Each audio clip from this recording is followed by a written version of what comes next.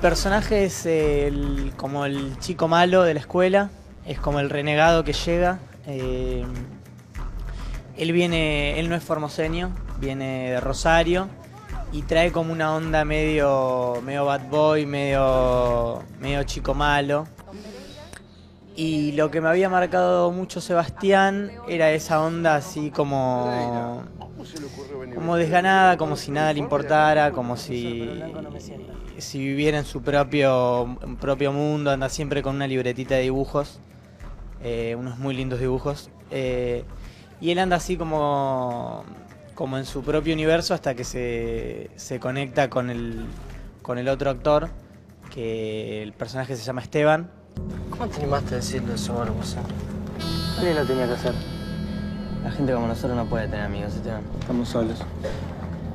Solos en un enorme corral de ovejas. Lo que le pasa al personaje empieza como un chico al que en el colegio le hacen bullying, es un chico marginado, ¿no?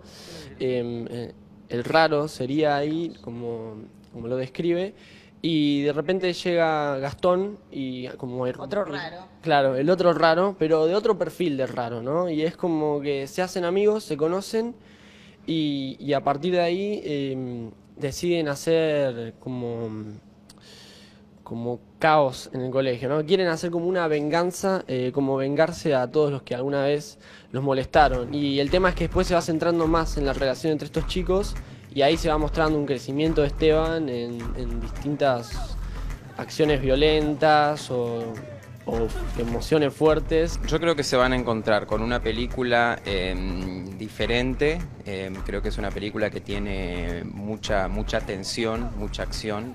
Tiene. eh, es, es como un viaje. Un viaje, toda la gente que sale, salió de verla en el Bafisi me dijo como que sale con una adrenalina de uff.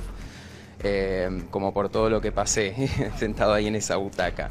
Eh, un viaje que tiene, tiene momentos de comedia, tiene momentos de tensión, tiene momentos de miedo, eh, tiene momentos de, mucha impre- impresión y también tiene momentos de, como de, mucha empatía con estos personajes.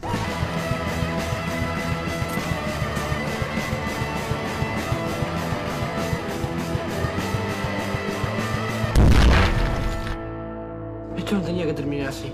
Esto es lo que la gente como nosotros tiene que hacer.